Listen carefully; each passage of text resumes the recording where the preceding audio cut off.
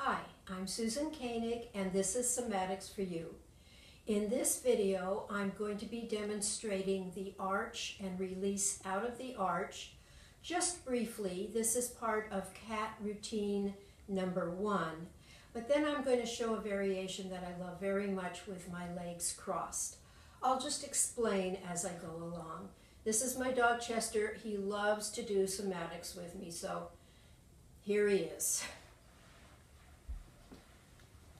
I'm just going to lie down and get comfortable and just sense a little bit about where my low back is. I'm going to bring my arms out further than I usually do so it's easier for you to see what's happening in my somatic center and low back.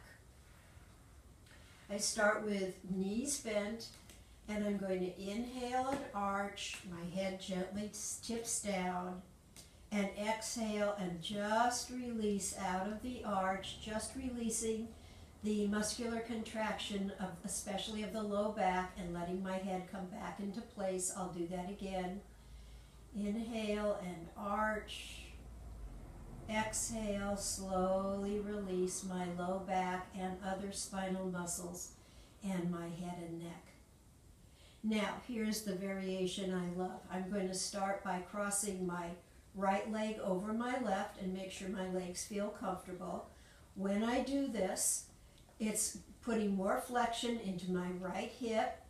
It's uh, slightly elevating, bringing forward my right hemipelvis, which is a bit of a left rotation.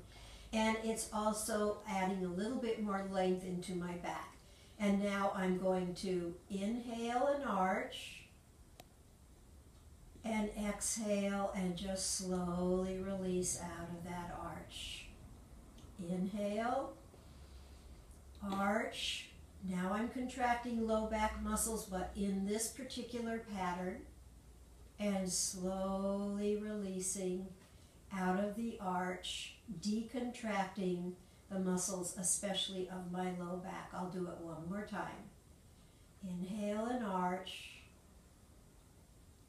Exhale, slowly release out of the arch.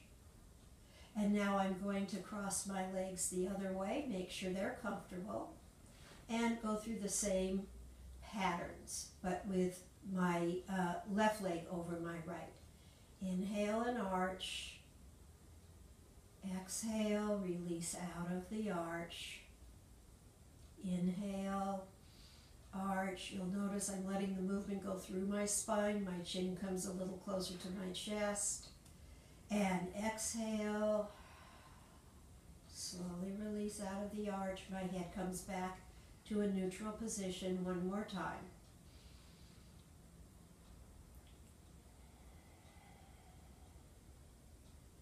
And now I'm just going to uncross my legs and let my legs go long.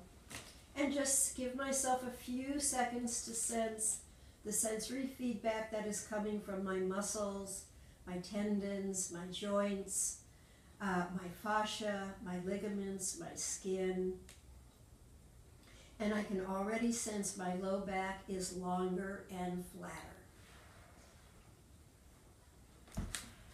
I encourage you to try not only arch and release out of arch, but also the variations where you cross your legs. Thank you very much.